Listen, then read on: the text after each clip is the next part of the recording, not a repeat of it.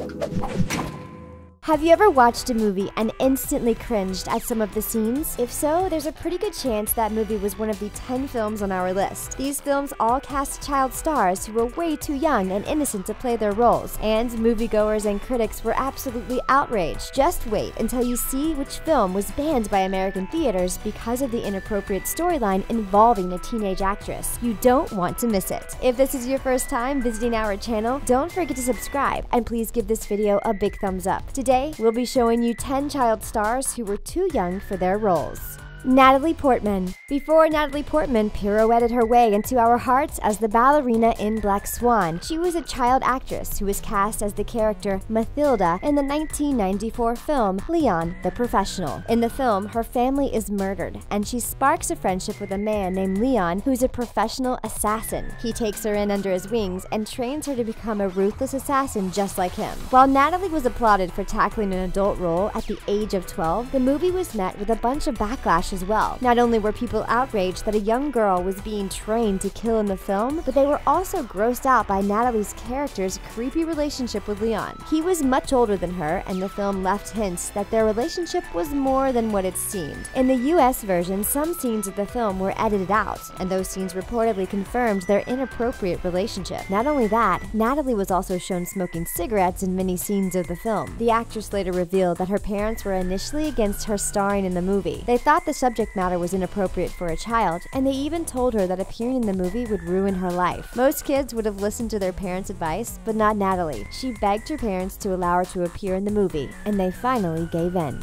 Linda Blair. Back in 1973, which was probably way before you were born, a movie called The Exorcist scared the living you know what out of the entire world. The film was about a teenage girl, Regan MacNeil, who was possessed by a mysterious entity. With some help from her priests, they tried to expel the vicious forces from her body. However, in order to free her from the terror, moviegoers had to sit through various scenes of the young actress's head spinning around in circles and some pretty harsh language to go right along with it. The role of the possessed girl was played by actress Linda Blair, who was just 13 years old at the time. The movie was the source of nightmares for adults and children who watched it when it first debuted, so we can only imagine how Linda must have felt on the set living through it all. Sure, the movie can't compare to the special effects and computer generated graphics that we have today, but when the film premiered back in the 70s, the special effects in the film were top notch, and they managed to freak everyone out. After the premiere, many people believed that the actress was way too young to be exposed to that kind of content. Years later, Linda spoke about her experience and said she didn't understand a lot of what was happening at the time, and she didn't bother asking anyone on set any questions. She was there to do her job. And this inappropriate movie single handedly launched her entire career.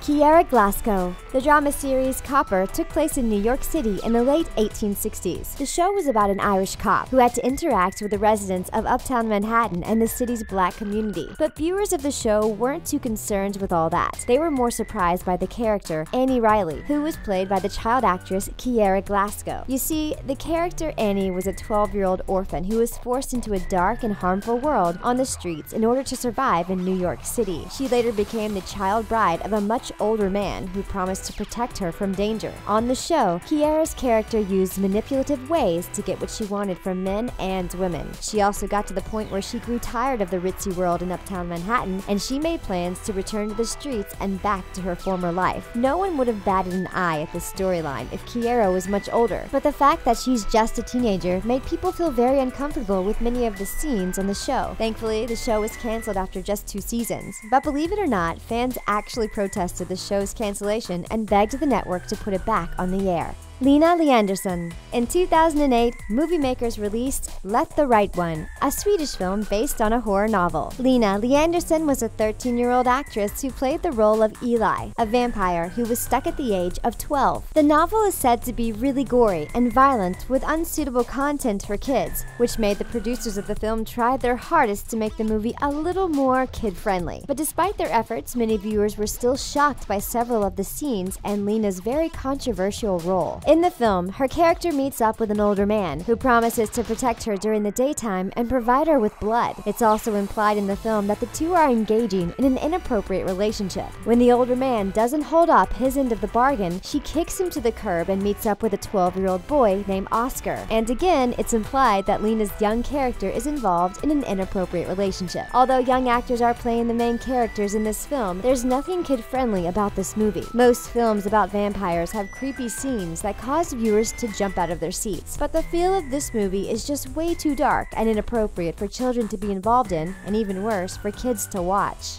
Isabelle Fuhrman Horror movie fans were so excited when the 2009 film Orphan hit theaters. It promised to be just as hair raising as the 70s film The Exorcist, but with an updated twist. However, as soon as the film began, many people were taken aback by several of the scenes played by the young actress Isabelle Fuhrman. Isabelle played the role of Esther, an orphan who was adopted by a couple who recently lost their child. During the time the film was released, Isabelle was just 11 years old, and she was involved in some pretty twisted and demented scenes in the film. The movie was full of violence and inappropriate actions, like the scene where Isabelle's character tried to seduce her adopted father before ending her life. But the movie had an unexpected turn towards the end. If you haven't seen the film yet, here's a spoiler alert, so you might want to plug your ears for a second. Are your ears plugged? Okay, good. Towards the end of the film, it was later revealed that Isabelle's character wasn't actually a little girl. She was really a 33 year old serial killer who was able to hide her real age due to a hormone disorder that stunted her growth. But that didn't change change the fact that Isabelle was just 11 years old in real life and she was subjected to some pretty vicious scenes that no child should ever be a part of. That's the end of the spoiler. Now it's time to move on to the next child star. Mariel Hemingway. So far, we've seen numerous inappropriate films from various decades. For this next movie, we'll take you all the way back to 1976. The film was called Lipstick, and the actress Mariel Hemingway's role as the character Kathy McCormick even earned her a Golden Globe nomination. So, what could have been so horrible about this film? Well, Mariel was cast alongside her real life sister, the late actress Margaux Hemingway. The film depicted some savage content, which included Mariel getting forcefully taken advantage by her sister's music teacher in a very graphic scene. But not only that, her character was taken advantage of a second time later on in the movie as well. Her character later sought justice for all that she went through. When the film was initially released, it received a lot of buzz, which attracted moviegoers. They flocked to the theaters to see what all the hype was about, and many of them were shocked at the very extreme and exploitative scenes. Because Mariel was just 15 at the time of the film, many thought the physical acts of violence against such a young actress were uncalled for, unjustified, and way too graphic for viewers. These days, the film film is still considered just as controversial as it was when it first hit theaters, but surprisingly, it also has become a cult classic to avid moviegoers.